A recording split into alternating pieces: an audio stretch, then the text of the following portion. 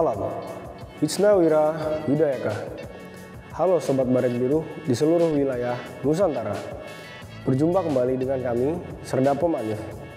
Akan memberikan informasi terupdate, teraktual, dan terpercaya kegiatan prajurit Baret Biru di seluruh wilayah Nusantara yang akan kami hadirkan untuk Anda dalam liputan Wisna Wira Widayaka sepekan.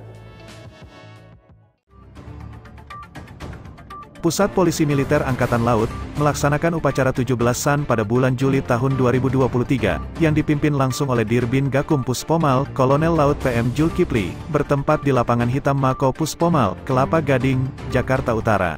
Dalam amanat Panglima TNI, disampaikan bahwa TNI sebagai alat utama pertahanan negara, harus terus hadir untuk berperan aktif sesuai dengan fungsi dan tugas pokok yang telah diamanatkan oleh Undang-Undang sebagai garda terdepan dan benteng terakhir NKRI. TNI harus mampu membantu mengatasi kesulitan dan permasalahan yang dihadapi bangsa dan menjaga tetap tegaknya negara kesatuan Republik Indonesia. Komandan Pusat Polisi Militer Angkatan Laut, Laksamana Muda TNI Samista SH, dan Wadan Puspomal Laksamana Pertama, Dr. Handes Harimurti Mhan, menghadiri tasyakuran HUT Pertama Korps Hukum TNI AL, bertempat di Auditorium Yos Sudarso, Mabesal Cilangkap, Jakarta Timur. Acara tasyakuran dihadiri oleh Kepala Staf Angkatan Laut, Laksamana TNI, Muhammad Ali, yang diwakili oleh Koorsahli Kasal, Laksamana Muda TNI, Rubianto. Korps Hukum TNI AL harus dapat memberikan peningkatan kepastian hukum dalam menghadapi permasalahan hukum di lingkungan TNI Angkatan Laut. Upacara penyambutan kontingen Mabesal dalam Pekan Olahraga Wilayah Barat TNI AL dipimpin oleh Aspers Kasal, yang diwakilkan oleh Wadan Puspomal, Laksamana Pertama TNI, Dr. Handes Harimurti M. Han, bertempat di lapangan Trisila, Denma, Mabesal, Jakarta Timur. Dalam amanat Aspers Kasal yang dibacakan oleh Wadan Puspomal, mengucapkan terima kasih yang sebesar-besarnya dan apresiasi yang tinggi atas dedikasi dan perjuangan para atlet kontingen Mabesal yang telah bertanding.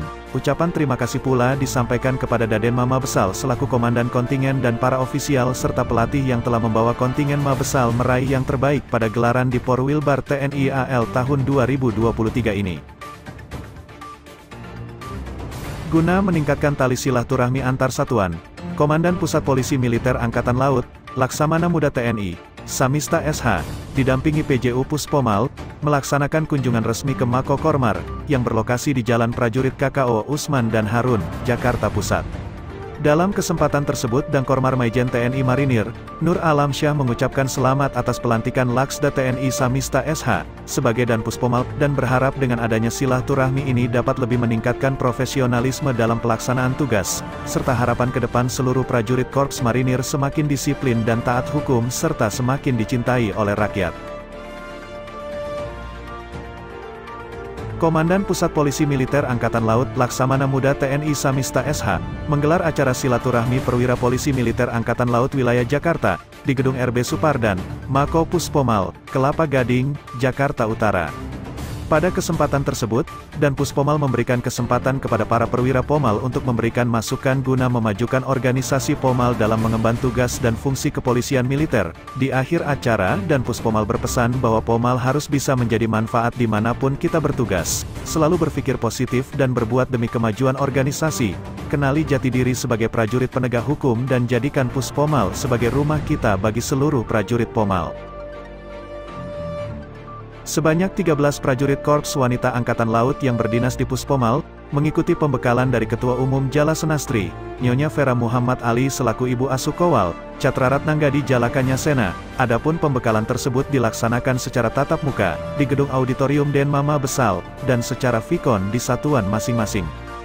Ketua Cabang BS Jala Senastri Puspomal, Nyonya Nunung Samista, mendampingi langsung kegiatan pembekalan tersebut secara vikon, bertempat di Aula Kantor CBS Jala Senastri Puspomal, Kelapa Gading, Jakarta Utara.